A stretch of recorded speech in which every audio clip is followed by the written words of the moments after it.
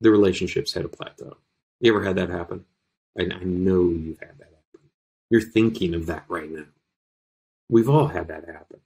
A relationship is just on fire. You enjoy being together. It's like you are siblings that somehow were separated at birth, but now have found each other, and you can't get enough of each other.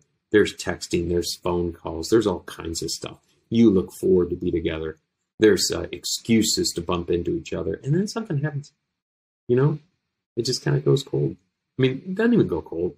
Cold's fine, but it just goes lukewarm. What do you do? What do you do when the relationship's at that plateau? And again, they all do. Most small groups, at some point or another, have this happen. The group can really enjoy each other, and then it's not that they even annoy each other. They just aren't on fire anymore. And it's noticeable. How can you tell when a group is uh, has uh, you know sort of lost that first love? Oh, people miss the group.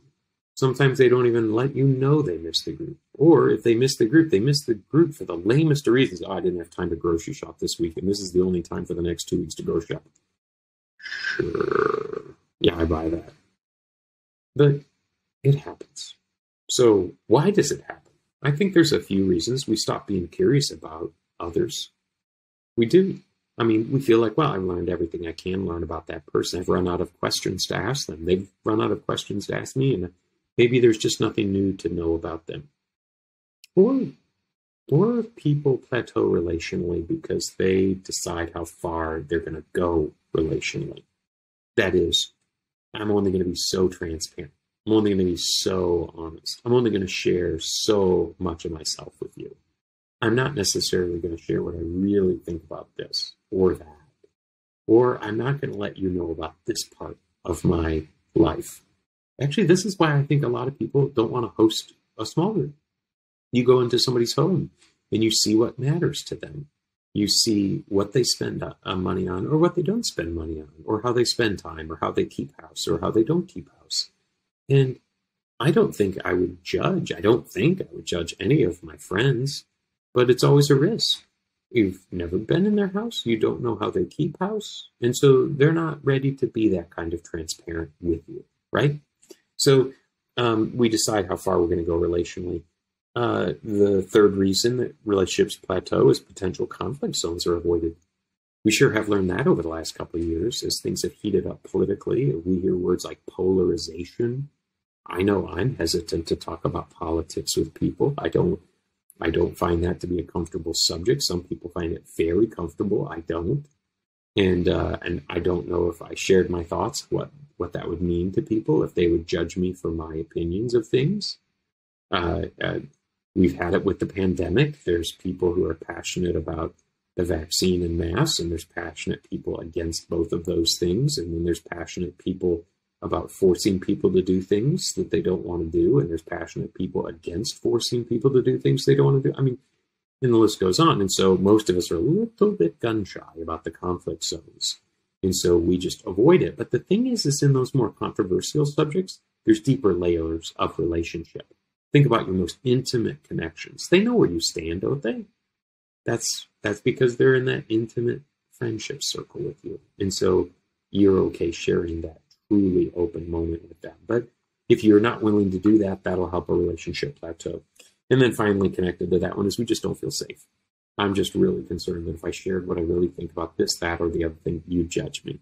You'd think I'm not a good Christian, or maybe you won't think I'm a Christian at all, or maybe you won't think I'm a good person, or maybe you'll think I'm a, I'm dumb or ignorant or a jerk or whatever, right? And so this is the world that we are living in right now. So what can we do about it? How do we move past the plateau?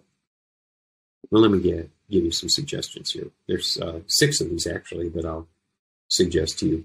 Uh, the first is don't avoid the awkward, embrace it. Now, I wouldn't do this in a brand new group, okay? But if your group's been around for a couple years, you can probably deal with the awkward.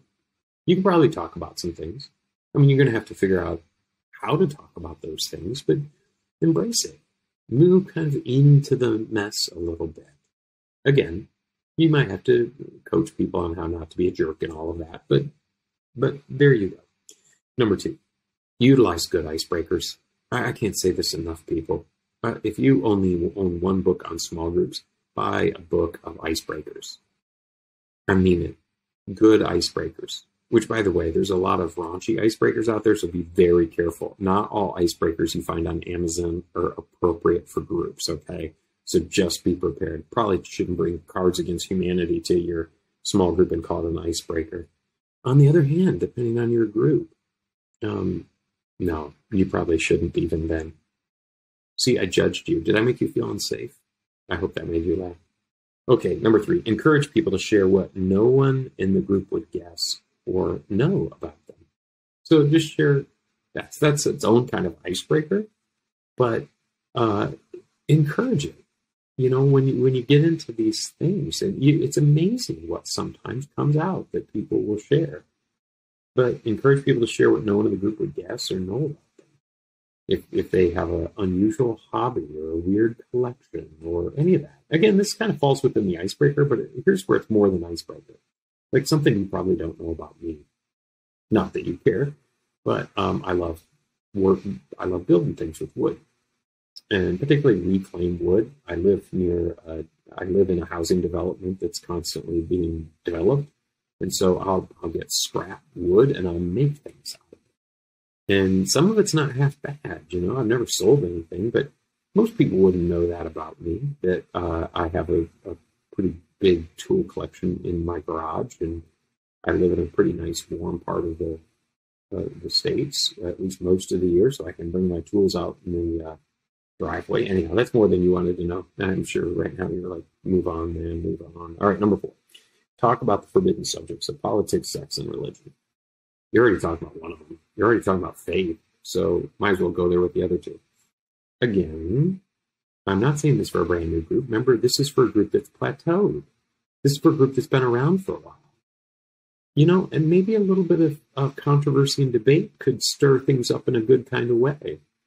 Again, you're going to have to learn how to how to talk about these things in a safe way, in a proper way, conduct yourself in a godly way, in the way that you do it. But we sometimes think you're not supposed to talk about that. And uh, as I mentioned in the first session, this these uh, these this one in the in part one is built around uh, built around uh, Parker uh, uh, Priya Parker's book, The Art of Gathering: How We Meet and Why It Matters. And so this is one of the things that she is a big fan of. She's like, by all means, lean into controversy. In my book, The Essential Guide for Small Group Leaders, I have a bunch of tips in there and a handful of chapters on how to wade into those subjects, how to deal with conflict, how to talk about some of these things. So make use of that stuff. Uh, number five, connected to it, don't stop conflict, guide it. So if something controversial comes up, don't lean over and go, hey, hey, hey, hey, hey, we don't talk about that this group. No, instead, say, uh, hey, let's let's let's be thoughtful about how we express our opinions, making sure that we we go after ideas, but let's not go after people.